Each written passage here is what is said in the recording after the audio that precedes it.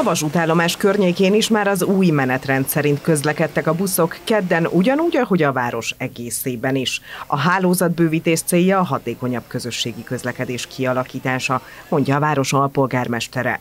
Mészáros Attila hozzátette, a bővítés 300 millió forint többletköltséget jelent az önkormányzatnak, és a járatok közel 300 ezer kilométerrel többet tesznek meg évente. Elkezdtük azokat a városrészeket összekötő járatokat is, amelyekre most már nincsen átszállási kényszer, ahhoz, hogy például valaki Feketehegyről a kórházhoz eh, eljuthasson, vagy éppen a seregési útra.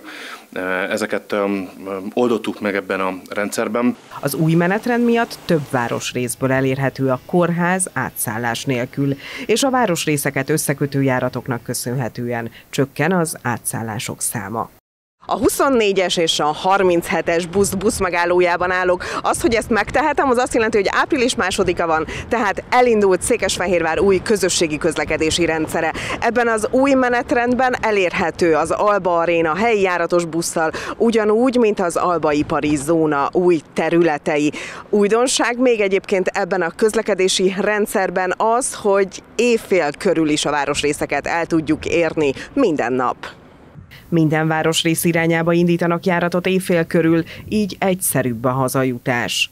A tízes járat a Maroshegyre, a 12-es az Alsóváros őrhalmi szőlők irányába, a 24-es és 32-es járat az Öreghegyre, a 34-es a Felsővárosba és a Fecskepartra, illetve a 37-es a Feketehegyre megy.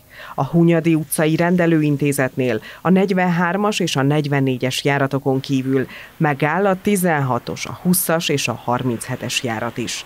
További változás, hogy a 13-as, a 13A, a 13G, a 13Y, a 27-es, a 29-es és a 30-as buszok beolvadtak más járatokba, így ezekkel az utazók már nem találkozhatnak.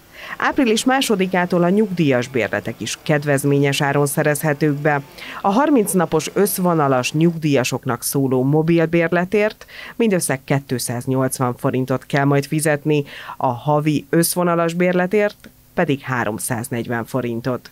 A menetrend a Fehérvár heti labban és a város honlapján elérhető.